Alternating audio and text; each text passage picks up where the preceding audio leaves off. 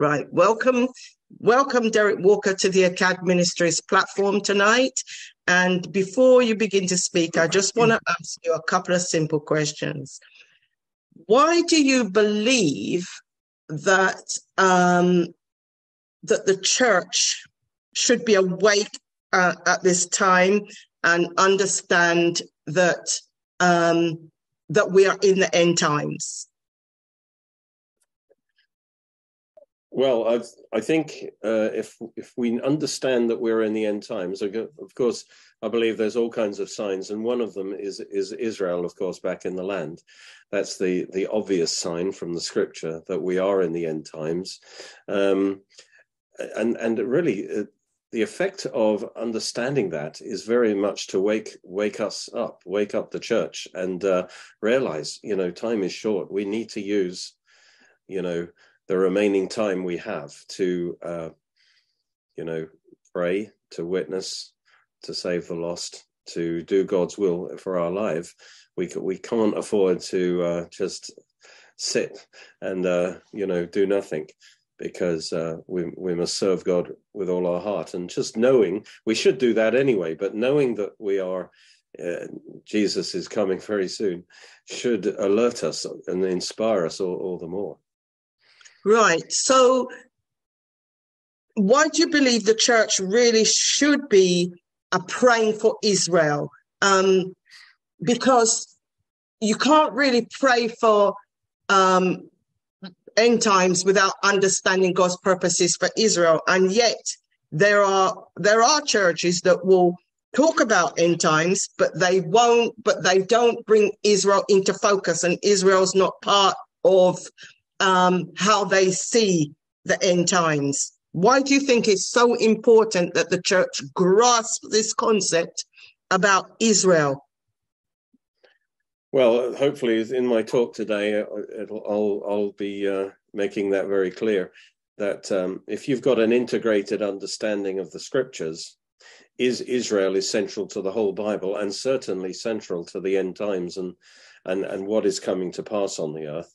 The the problem is, I think that uh, partly we're the victims of a lot of church history, where, where the, the, you know replacement theology has kind of taken over a large part of the church, and so you know um, it's we can we it's like we we're looking at scripture um, with a huge blind spot.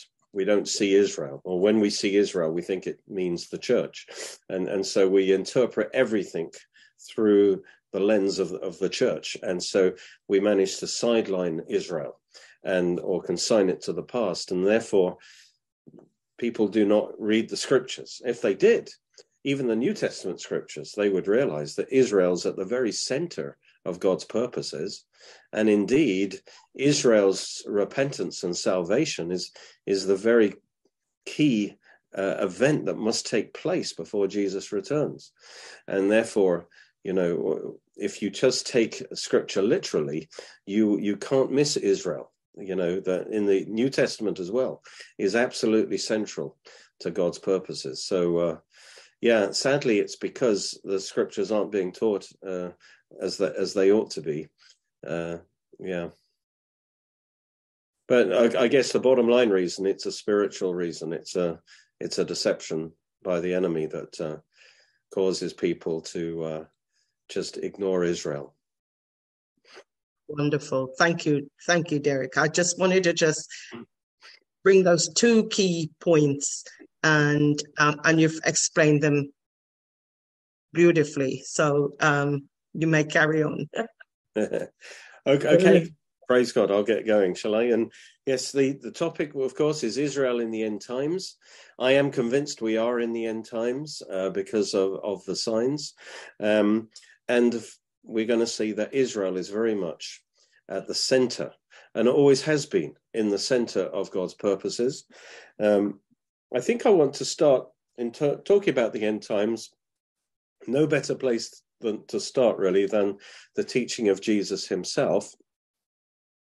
and, and, so I think we'll go to the uh, Matthew 23 to start with.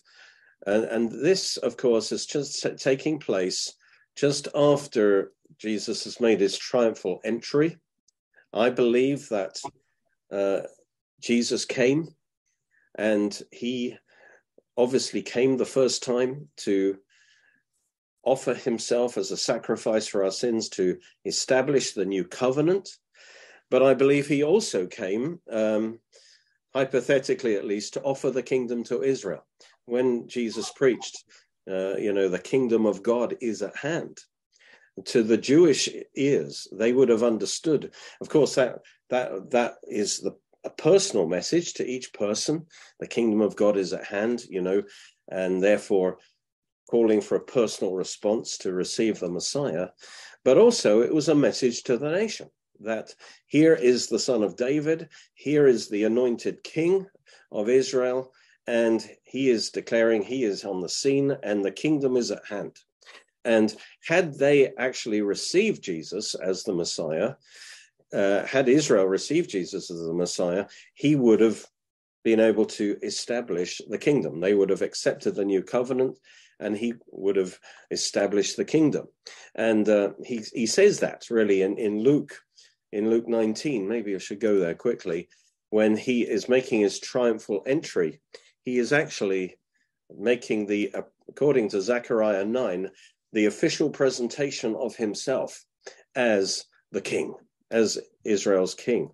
And of course, he knows as he is making this triumphal entry that he is presenting himself officially to the leadership as the king. And the people, of course, were giving the messianic greeting. Uh, in say in verse 38 they are shouting you know blessed is the king who comes in the name of the lord and they they are officially receiving him but of course the response of the pharisees and the leaders was to reject him as, as their king and um, because of the covenants that were set up we're going to explain it for, for Christ to to establish his kingdom on the earth. Um, it is necessary for Israel to receive him as their king and put their faith in him as their king.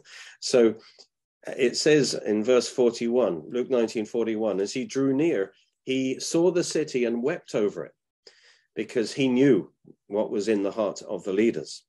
And he says, if you know, had known, even you, especially in this your day, the things that make for your peace, your shalom, now they are hidden from your eyes. And, and in other words, Israel could have entered into a time of peace under the Messiah, and yet they, because they refused him, he then announces the judgment that was going to come on them, particularly in AD 70 when they would be destroyed by the Romans. And um, and so here we, we have an example of the fact that Jesus came, he accomplished salvation, he was re- ready and willing to establish the kingdom then, but Israel rejected the kingdom. And so they could not possess it at that time. And so God did not reject Israel at this time, but the kingdom was postponed uh, for for two thousand years. It's a bit like God gave them the opportunity to possess the promised land uh, under you know at the time of Moses, but because of their unbelief, they had to wander uh, in the wilderness for forty years before Joshua led them into the promised land. And in the same way, Israel failed to enter the promised land of the kingdom that had been promised to them through their covenants, through the covenant with Abraham, Isaac, and Jacob. Um, but they could they did not possess it because of unbelief. And so they had to wander in the wilderness of the nations for I, I, would say 40 jubilees.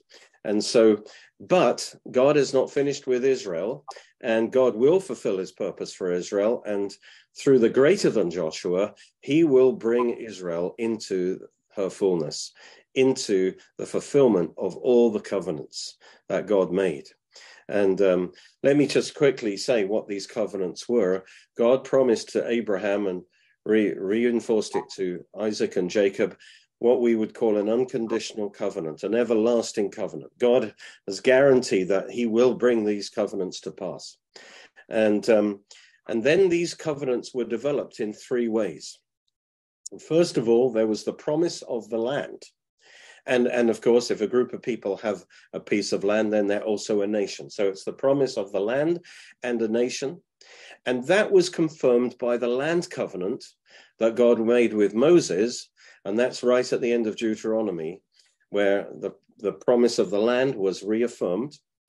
And that's the first development. The second development was the Davidic covenant, which promised the, a, a, a ruler who would be the, an everlasting king, the son of David, who would reign forever, and not just over Israel, but over the whole world. That's the Davidic covenant.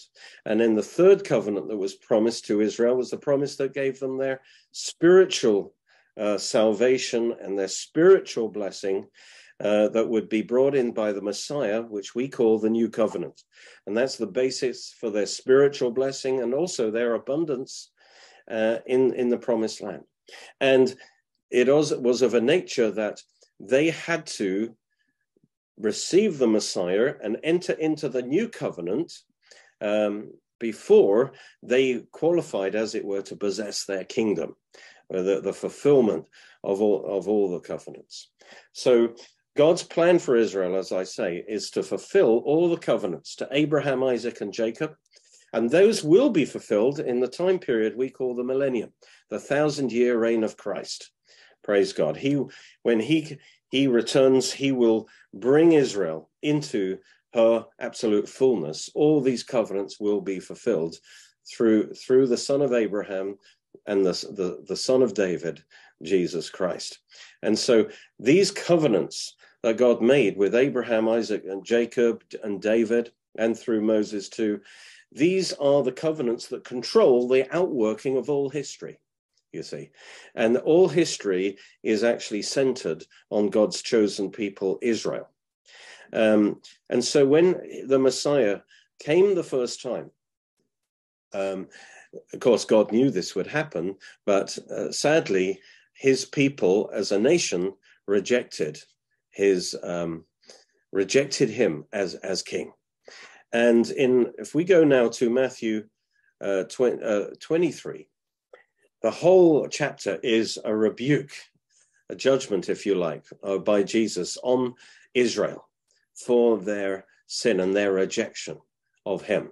And then he concludes Matthew 23 by saying in verse 37 to 39, O Jerusalem, Jerusalem, because that is the, the leadership of Israel, the one who kills the prophets and stones those who are sent to her. How often I would have want, wanted to gather your children together as a hen gathers her chicks under her wings, but you were not willing. This is the, the rejection of Christ as, as the Messiah King. See, now it's the consequences, judgment. See your house, that's the temple, is left to you desolate. So he's predicting the destruction of the temple. For I say to you, you will not see me anymore until, and I love that until. All right, not forever. God has not finished with Israel. Israel's under discipline right now because of her rejection of the Messiah. But you will not see me no more until you say, until the leadership of Israel says, Blessed is he who comes in the name of the Lord. And that, of course, is the messianic greeting, the messianic welcome. That is Israel receiving uh, Jesus as her Lord and Savior. And that, you see, is the basis for the second coming. He promises the moment Israel repents, calls on him, receives him as the Messiah, um, then he will return in power and glory and establish his kingdom on earth with Israel as the chief nation. So you see that here in the teaching of Jesus, Israel is at the center of world events and, and the very key to the second coming of Christ. And then as we move into verse uh, chapter 24, it says that Jesus went out and departed from the temple, and that's a prophetic action. This is the glory of God leaving the temple. You know, when Israel sinned in the days of, um, you know, um, 600 BC and so on, when the first temple was destroyed, the Ezekiel saw the glory of God leaving the temple and going out onto the Mount of Olives. Well, exactly the same thing is happening here. The glory of God, Jesus Christ, is now departing the temple for the last time. He doesn't return. And he, he and the disciples try and cheer him up. He's obviously in a in a serious mood, and says they want to show him the buildings of the temple, aren't they great? You know, and Jesus says, "Look, assuredly I say to you, no, not one stone will be left here upon another that shall not be thrown down." In other words, this temple is now going to be destroyed because the glory has now left the temple. And then it says he went up the, the Mount of Olives and he sat on the Mount of Olives. Again, the glory of God going onto the Mount of Olives. And ultimately, you know, after uh, 40 plus days from now, um, he will ascend into heaven from the Mount of Olives, just as it was in Ezekiel's day. And um, and then the disciples ask him about the end times. Really, they they when will these things be? And that's the question about when when will the temple be destroyed? And the answer to that question, by the way, is recorded in Luke 21. And then it says, What will be the sign of your coming and of the end of the age? Uh, by the way, those are two different questions. The his coming, of course, is the second coming, but the end of the age is a different word. It's suntelia. It means the consummation of the age, or the tribulation, in other words. It's not the final end, but it's the end period. For instance, if I come to the last five minutes of my talk, that's not the final end. That's the consummation of my talk. That's the that's what this word means. The end of the the age is the final period of the age, which we call the tribulation. So they want to know about the tribulation. They want to know about the second coming, and they also want to know about the temple. And as we look at this, we're going to see in Jesus' description of the end times that Israel is very much in the middle of the action. All right. And, and that is not an accident. It's because Israel is still at the center of God's, God's purposes. Uh, a quick look at Luke 21. Um, we'll see just, just a little piece out of this. Um, in 21, he describes um, Luke 21, verse 20 he describes the destruction of the temple um, in the in that generation. You you will see Jerusalem surrounded by armies. Then know that its desolation is near. Then let those in Judea flee to the mountains and and so forth. This actually happened, I think, in about I'm not sure. Let's say AD 68. The um, or early in the war, maybe even AD 66, they the Romans attacked Jerusalem, surrounded Jerusalem, and it looked like um, this was the sign that Jesus was was giving them that the temple was about to be destroyed. And you might think, well, it's a bit late because if the if it Jerusalem's surrounded by armies, how can they escape? They're already trapped. But in fact, the the the Roman uh, general was uh, too hasty. He didn't have enough supply lines, and and so he couldn't. Jerusalem was not an easy capital to to to capture, and so because it was an ill-conceived attack, the Romans withdrew, and but the Christians knew that this was the sign. Um, most of the the Jews were were you know celebrating their victory, but this was actually the sign Jesus gave that soon it will be destroyed. And the Christians actually believing Jesus' prophecy managed to escape in the in the next few years. Uh, they escaped to to Pella, many of them, and um, then, of course, the Roman legions returned, and in AD 70 they actually destroyed the temple, and and then in verse 24 he says, and these and they, that's you know the the Jews, will fall by the edge of the sword and be led captive into all nations. So here it predicts because Israel's rejection of Christ, she will be scattered to the nations. She'll lose her land and her nationhood. And then Jerusalem will be trampled by Gentiles until the times of the Gentiles are fulfilled. So again is the the The negative news is Jerusalem will be taken over by the Gentiles. They will be scattered to the nations, but not forever, until the times of the Gentiles are fulfilled. And, and I believe um, that, that that's happened because Israel back in the land right now tells us that a significant change has happened. That is a real marker of the end times because God's purpose for Israel has not finished. Uh, okay, so notice that the, there's the hint there that Israel will be and Jerusalem will be restored in the end times. Um, that that scattering of Israel will not be forever, but Israel will re- be regathered. All right. So now, as we look into Matthew 24, I'm going to jump over a lot of this. I just want to notice that as you look at Matthew 24, it describes lots of the signs that are going to take place in the end times. But I just want to focus on one of them. If you go into verse 15, um, he talks about the abomination. When you see the abomination of desolation spoken of by Daniel the prophet standing in the holy place, um, which is the temple, um, whoever reads, let him understand. And what he's saying is, you need to read, understand Daniel's prophecies. All right. So he's saying if you want to understand the end times, you've got to understand Daniel. And of course, this is a reference to Daniel 9:27, which predicts that, um, which is in the, the prophecy of Daniel's 70 weeks, which, by the way, is perhaps the uh, a very challenging prophecy. I've written a book on it. You can get it from Amazon called uh, Daniel's 70 Weeks.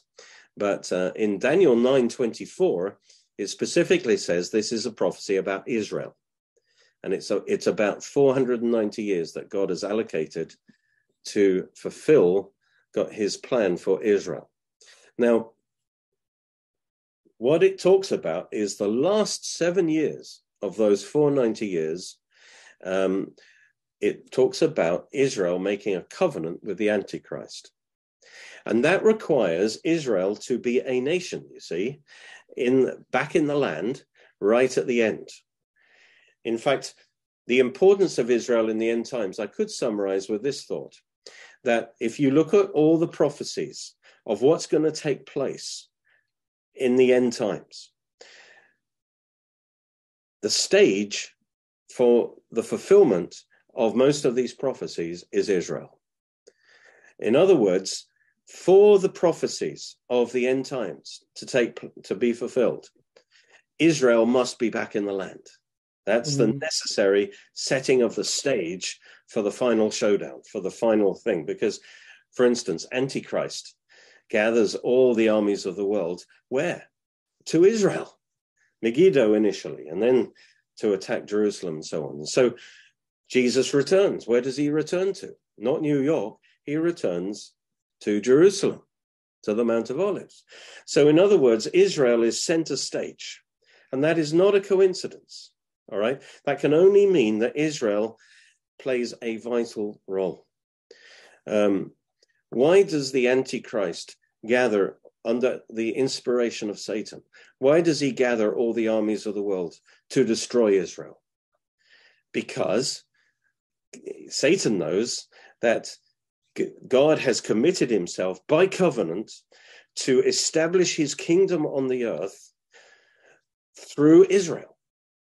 And therefore, if he can destroy Israel, and this is why Satan, through Hitler and other people, uh, and this is the nature of the spirit of anti Semitism, is Satan's attempt to wipe Israel off the map and to destroy the Jews because he knows that that's the only way he can stop God's plan coming to pass.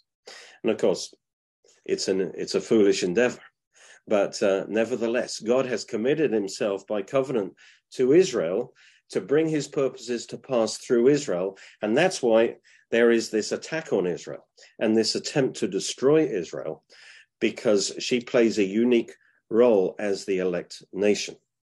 And so um, we, we need to understand the kind of spiritual warfare going on over Israel. That's why, as it were, it's such a hot topic that a lot of people want to leave alone.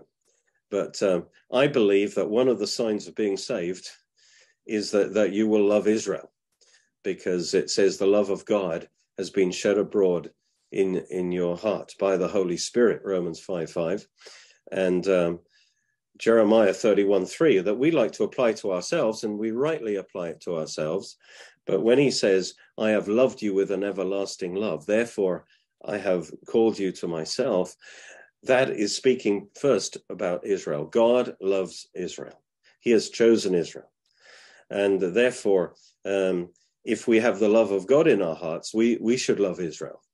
Uh, despite her sins or, or so, so forth because that God's that is God's heart for Israel, and and so um, we what we'll see in Dan, in Daniel's prophecy is an example where Israel is back in the land for the certainly for the last seven years, because Antichrist makes this seven year covenant with Israel, and then it says halfway through, and in that covenant he uh, uses his um, might, as it were. Some kind of deal is made, and that allows Israel to have her temple uh, functioning again.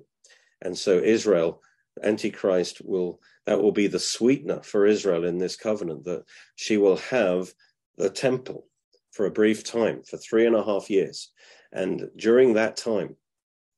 Um, um, actually through the two witnesses, God's going to use that. It, it's it's actually called. Some people call it the Antichrist temple, but actually in two Thessalonians it's called the temple of God, and here it's called the holy place. So it will be an actual temple of God. Um, because God's going to use it as an outreach. Now, the Orthodox Jews will think it's that a chance for them to reinstate their temple worship of the old covenant.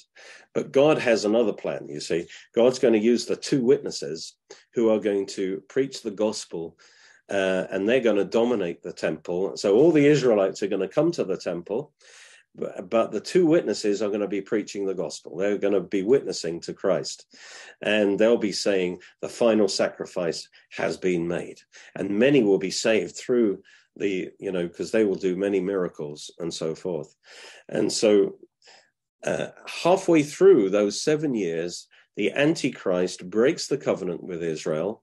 He invades the um, east jerusalem and he kills the two witnesses and he takes over the temple. And then he desecrates the temple by placing the abomination of desolation in the temple, which is probably some kind of idol to himself the image of the beast, and then he starts commanding the world to worship him. And, and so he desecrate God's holy place. So Jesus refers to that prophecy of Daniel. Um, and, and by the way, that brings down desolating judgments from God. That's why it's called the abomination of desolation. Jesus references this event in Israel. So I want you to notice in Jesus' description of the end times, it's centered on Israel and on the temple. And he says, when you see the abomination spoken of by Daniel, then let those in Judea flee to the mountains. He says, get out of there. And, and the reason that they should flee is in verse 21 for then there will be great tribulation, such as not been since the beginning of the world until this time, no, nor shall ever be and so this will be the, the last three and a half years are going to be the worst ever. That's when Antichrist becomes uh, the world's dictator, if you like, and he is given uh, 1,260 days of world power, and that's going to be the worst time ever. And um, and then it says in verse 22, unless those days are shortened, and that's shortened by the return of Christ, um, no flesh will be saved. That's how bad things are going to get. But for the elect's sake, now again, that many people like to think of the church here, we're the elect, but actually that's true. But that that concept of us being the elect only came in after, you know, later, when Jesus spoke these words, it's clear how the original hearers would have understood him. The elect is Israel. And it's for the elect's sake, those days will be shortened.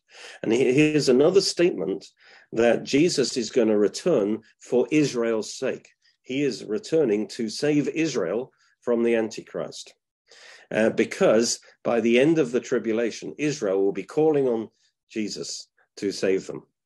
Uh, but I just want to see how this prophecy is centered on events in Israel.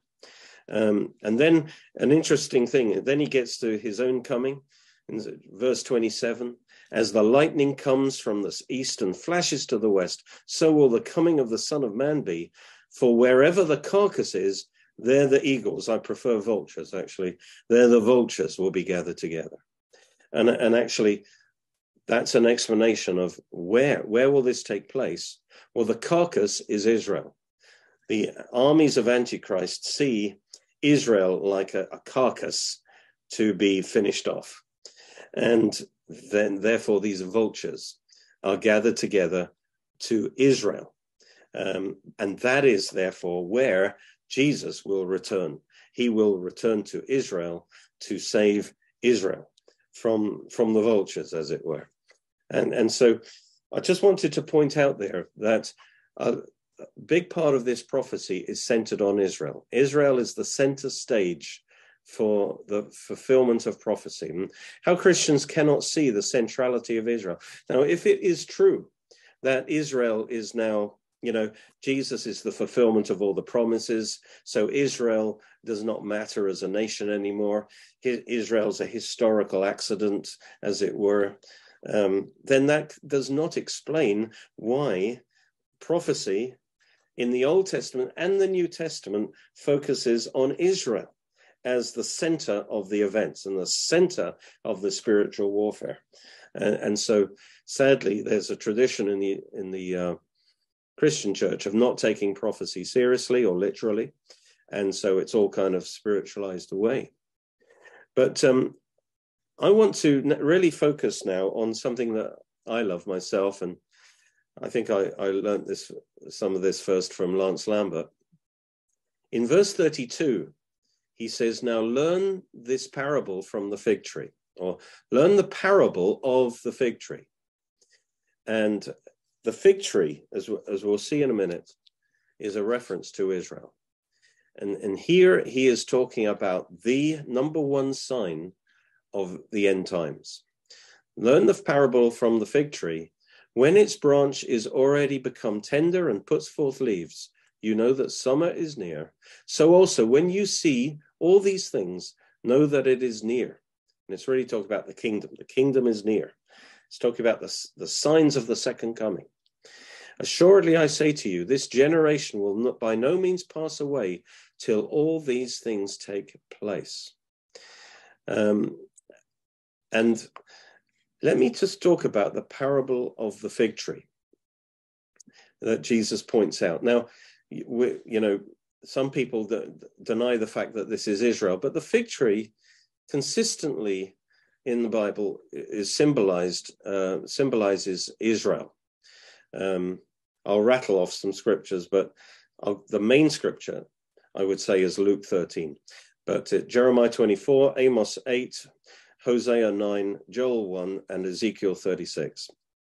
But I want to take you to actually where Jesus actually gave the parable of the fig tree. When he said, you know, take this lesson from the parable of the fig tree, um, he, he, the disciples knew exactly what he was talking about because he gave them the parable of the fig tree in Luke 13. And um, let's go there to Luke 13, verse 5 to 9 it says, unless um, you repent, verse 5, Luke 13, verse 5, unless you, Israel, repent, you will all likewise perish. He also spoke this parable. This is the parable of the fig tree. A certain man, and that's Jesus, had a fig tree. As we read on, we'll see it's Israel, planted in his vineyard. That's the, the Holy Land. And he came seeking fruit on it and found none. This is Jesus looking for faith, but he doesn't find any. Then he said to the keeper of the vineyard, that's the father, look for three years. So this is three years into the ministry of Jesus. For three years I have come seeking fruit on the fig tree, and I find none. Cut it down. Why does it use up the ground? In other words, judgment. Remove it from the vineyard. It's talking about Israel being removed from the land. But he answered and said to him, Sir, let it alone this year also, till I dig around and fertilize it. And if it bears fruit, well. And if not, after that, you can cut it down. So this is talking about God giving Israel an extra year of grace. So, so three years plus one year is four years. Now we know Jesus' ministry was three and a half years. So this takes us to six months after the cross. Um, I don't have time to develop this, but I believe that is Stephen's speech. That's the speech of the prosecutor against um, the leaders of Israel. And when they martyred Stephen, they were confirming that the leaders were confirming their rejection of Christ. And then they were spiritually cut off at that point. And um, that's where judgment came on Israel. And uh, that's when the gospel went out to the Samaritans and then to the Gentiles and so forth. Um, and, and so what we have now is that soon after that parable of the fig tree was fulfilled, Israel was cut down, the fig tree was cut down and removed from the land. So that's that's the first stage of the parable of the fig tree. It's all about the fig tree and whether it bears fruit or not.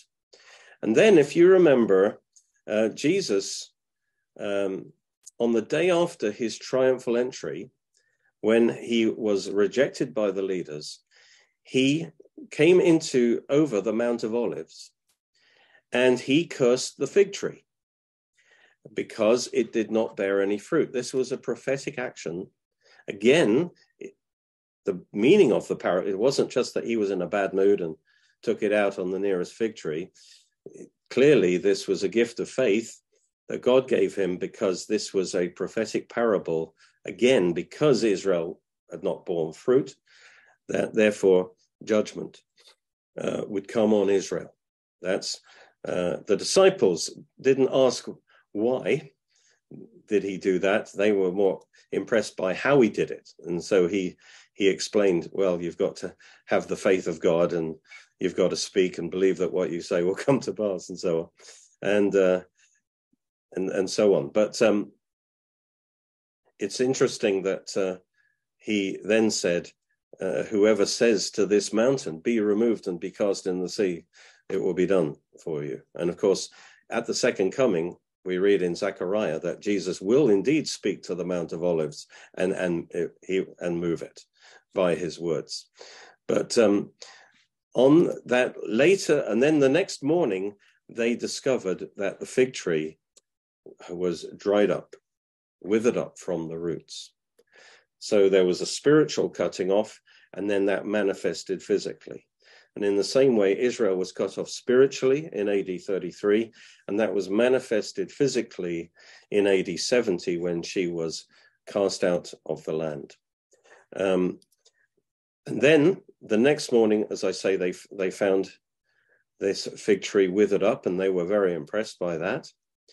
And then the later that same day, Jesus gives the Olivet discourse sitting on the Mount of Olives, right next to or close to the fig tree that had been withered up. All right, so there's a context to this. There's when he says the sign of the end time is the fig tree, they understood exactly what he was saying. That they understood the parable of the fig tree, that the fig tree is Israel, that the fig tree would be cut down and removed from the land. But he says, when you see the fig tree arise again and put forth its leaves, then you know you are in the end times. All right. This is the number one sign of being in the end times. The Israel has to come back into the land as a nation to set the scene for the end time prophecies. And they would have understood that the fig tree is Israel. But notice that, and there are that Israel in the, the when Israel comes back to the land, it is just bearing leaves, not fruit. And this is in line with many uh, prophecies in the Old Testament. Um, in my book, The Pan- Panorama of Prophecy, I, I, I, give you all the scriptures on this, but I can uh, get, just give you an overview, really. That um, the prophecies say that Israel will be regathered from the nations, and but it, initially it will be a partial regathering in unbelief. All right, and that's the fig tree bearing leaves not in faith. So some people say, well, Israel, you know, that isn't a work of God. Israel as a nation is not a work of God because Israel do not believe as a whole. Uh, a minority of Messianic Jews, yes, but as a whole, Israel is not in faith. So how can God be involved in that? But actually, that's exactly what the Bible predicts. In Ezekiel, he puts it like this I don't do it for your sake, Israel. I do it for my own namesake because I'm a covenant keeping God. And Israel, God is bringing uh, God's stage one is that he brings her back to the land. And then the next stage is God will deal with her in the land and, and especially in the tribulation. And she will come back to the Lord.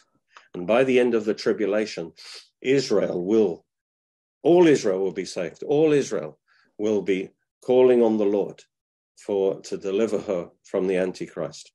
And so the, the initial regatherings in unbelief, then when she comes back in the land, she will start bearing fruit. And ultimately, then Christ will return as Israel is calling on her for salvation, on him for salvation.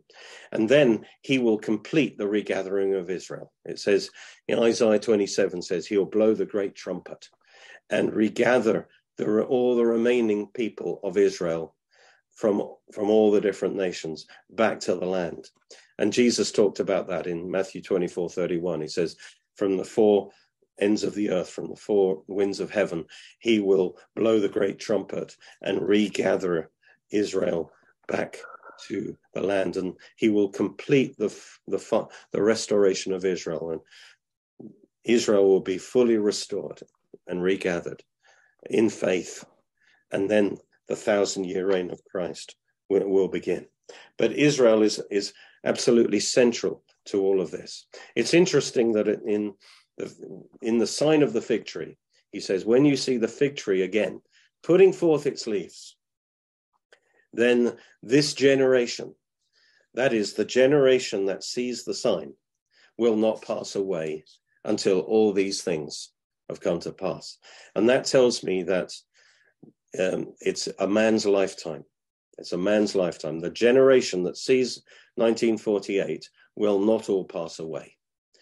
So it, it, that puts a limit uh, as to how how long it could be. So we're already how many years are we now?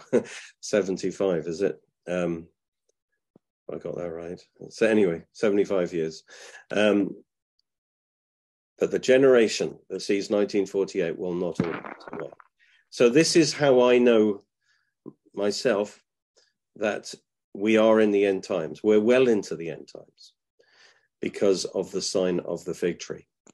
And um, as a result, we we need under, need to understand that uh, we should pray for. Of course, we pray for all people, but we should definitely pray for Israel because that is the the focus.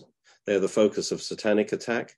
They're the focus of God's purposes, and when Israel returns to the Lord, uh, and that, that is happening, you know, slowly, more and more Jews are coming to faith each of those is a sign, uh, you know, of the coming of the Lord.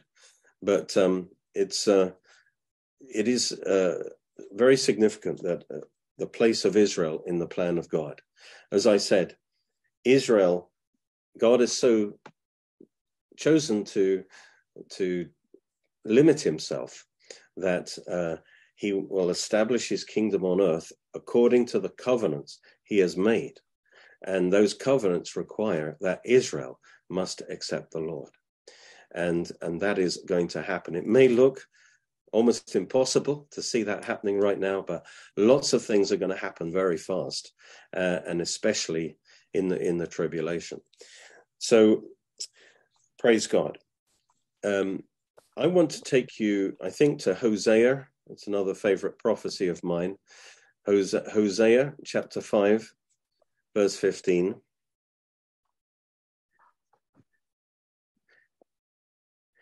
Now I know I am t- I, I have to finish being with you at 20 past, so I'll aim to finish at 10 past in case there are any questions, because i am teaching a small Bible school um, at half past seven, so I just need those 10 minutes to, to, to turn around, as it were. Hosea uh, chapter 5, and we'll start in verse 15. Uh, no, verse 14. And this is a prophecy of the Messiah. For I will be like a lion to Ephraim, to Israel, and like a long, young lion to the house of Judah. In other words, he comes as the king, claiming kingship. But eh, things don't seem to go well because it says, I, even I, will tear them and go away. So instead of blessing is, is judgment. And he will leave Israel. I will take them away. And the implication is he is going to remove them from, from the land because they reject him. And no one will rescue. And then he says, I will return again to my place. And of course, Jesus ascended to heaven uh, in AD 33. Until, there's that wonderful word again. I will return to my place. Remember, Jesus said to the leaders, You will not see me again until. Okay? Until they acknowledge their offense. There's one particular sin, one particular offense that Israel must acknowledge and, uh, and repent of. And that is of course, their official rejection by the Messiah. Uh, a rejection of Christ. And uh, they even made a judicial rejection of Christ by the Sanhedrin. That judgment has to be reversed. That requires Israel to be a nation again and for the leadership in Jerusalem to actually um, repent of that judgment.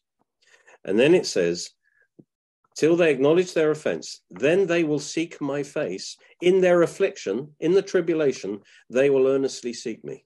So they will um, turn to, to God uh, more and more, as in particularly in the times of trouble.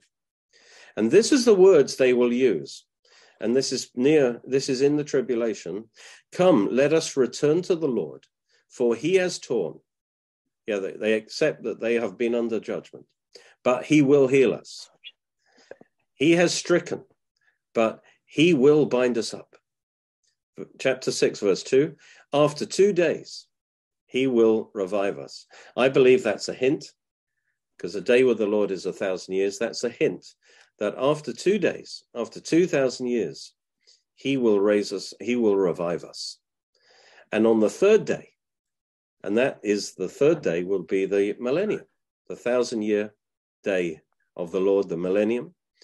On the third day, he will raise us up that we may live in his sight. So let us know, let us pursue the knowledge of the Lord. His going forth from heaven is established as the morning. In other words, they they are they are this is the final repentance of Israel, and they are calling, they are repenting, and they are sure that he is going to appear like the sun appears in the morning, and his light, his glory, is going to fill the earth. And mm. then they will live.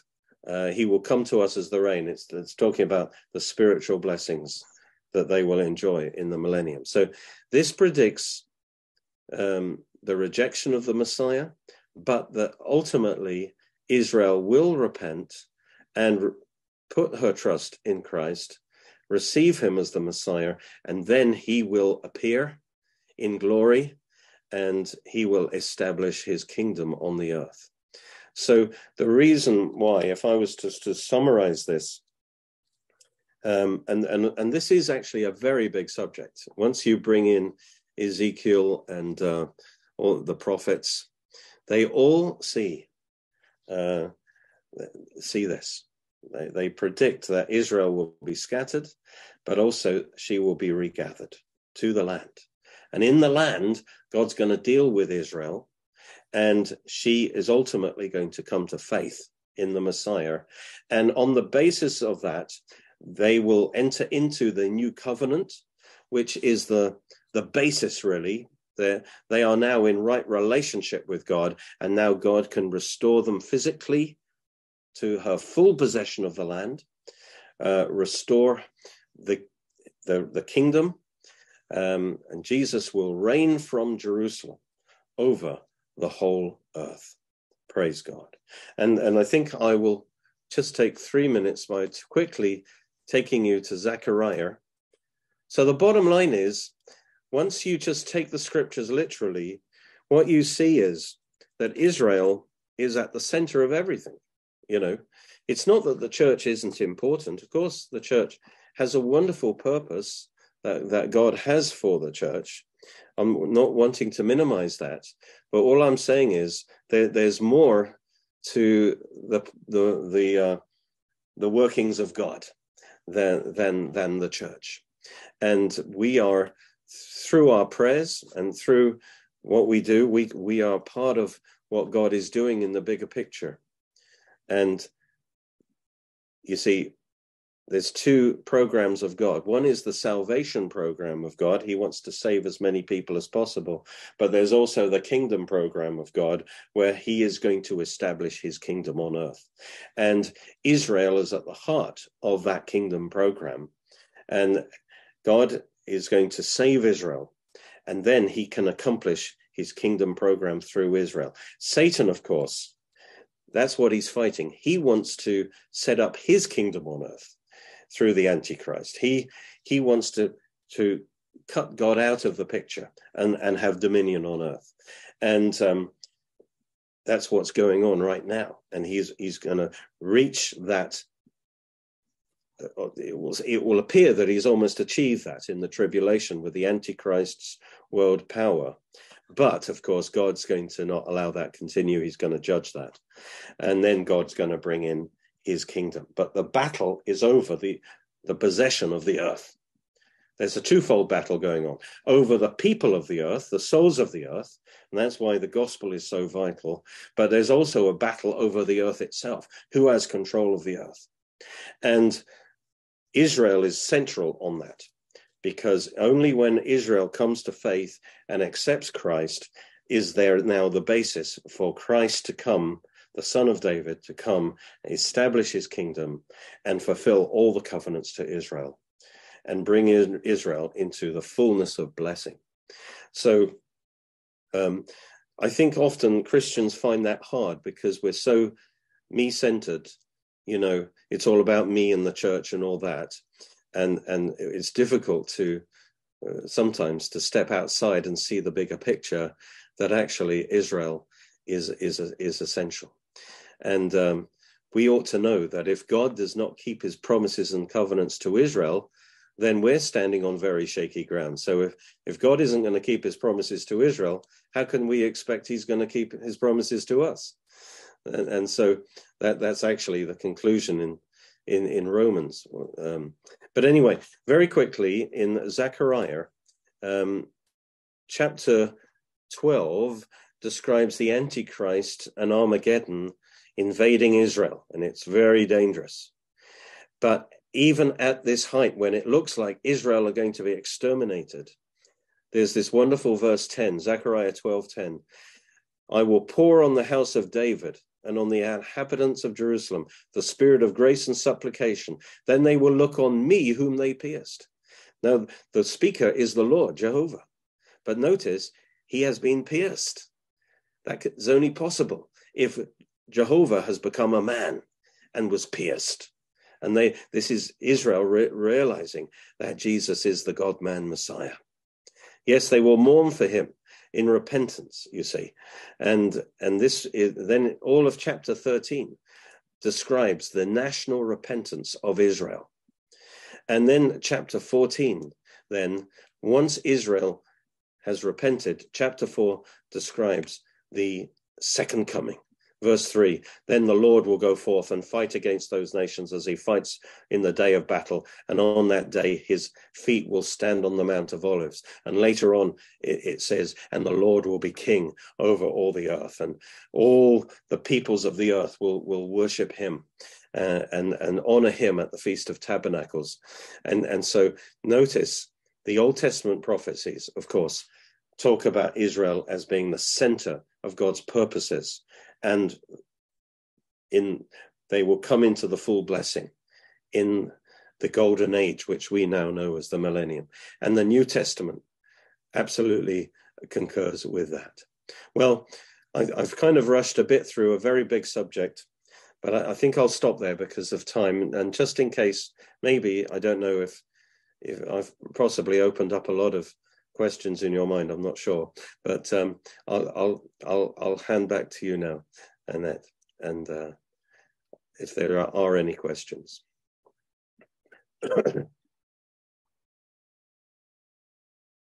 well, um, Derek, that was um, that was just absolutely um. You've given us a feast, and um, this is was an excellent, excellent, um, you know, you put it together so beautifully, excellently. As I said earlier on, I believe you're a really great expositor and you really did expound on that excellently. And it's a shame it's in such a short space of time that we, we, we, we, we can't grasp it all. We've grasped some and uh, we've written some, but I really believe that you need to come back again and you need to do this perhaps in a slower time when you've got more time and just really open this out broadly. But what I understand of this, that Israel is key, Israel is central, absolutely pivotal to God's plans here on earth. Mm. You know, right from even when we witness to people and people are coming into the body of Christ, you know, when people are being saved, that's all part of God bringing people into the body of Christ, bringing people into the kingdom for the, you know, this greater manifestation of what you've spoken about that will take place and must take place. And, you know, it, it you, David, Derek, at times it really does frustrate me when the church does not grasp this because although they've got certain structures and things, but they can't, they don't fit well because they haven't got the foundation. And you can't put up a house, a well structured house, without the foundation. You've got no firm foundation for which you are drawing from when you want to to um, make the Mashiach, make Yeshua um, a reality in the lives of people. Because when you throw Israel out, you throw out the identity of who Yeshua is and what it, you know, is Jewishness. It, you know, we, we know he's King of Kings and Lord of Lords, but we throw out the identity of his Jewishness. And therefore we cut off the roots.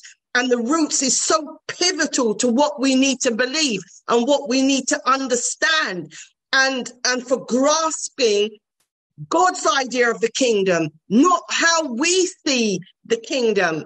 Uh, uh, you know, uh, uh and the church making the church out to be some greater um well it is an establishment but making the church to be the end and be all that as long as we're in the church and we have the church we don't need anything else which is an absolute lie so thank you so much and